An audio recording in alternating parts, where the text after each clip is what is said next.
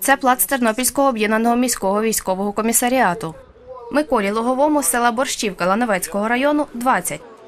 Немає чого хлопцям боятися, немає чого тікати. Якщо зараз всі почнуть тікати, то що тоді лишиться з України наші?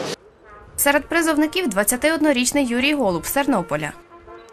отримав повістку, ну і зразу прийшов вже сюди. Це свого роду вихід із зони комфорту, щось нове. Тим більше нам всім більшість тут 21 рік, хоч ми і є повнолітні, але ми трішки якби діти. В армії ми набудемо е, досвіду нового, будемо більш дисциплі- дисципліновані.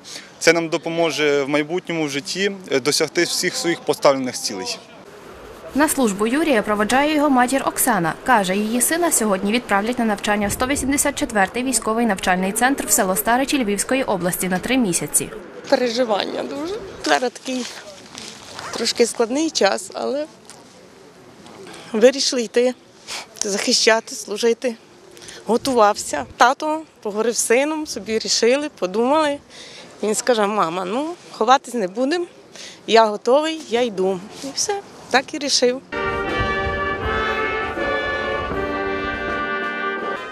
Начальник відділу укомплектування обласного навчального центру прикордонної служби Андрій Лущик розповів, за наступні три місяці планують взяти на службу близько 100 осіб.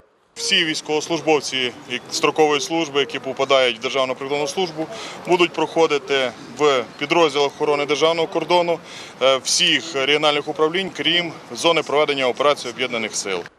Після урочистої відправки призовники поїдуть у військові частини Черкаської, Київської, Львівської, Полтавської областей. На них чекає від одного до трьох місяців навчання, а тоді строкова служба. Повідомив тимчасово виконувач обов'язків обласного військового комісара Олександр Скумбрій. Перші відправки це у нас, як правило, ті, які свідомо приходять по виклику військового комісара е, місцевого рівня, районного міста. Діана Ярошенко, Андрій Ботак. Новини.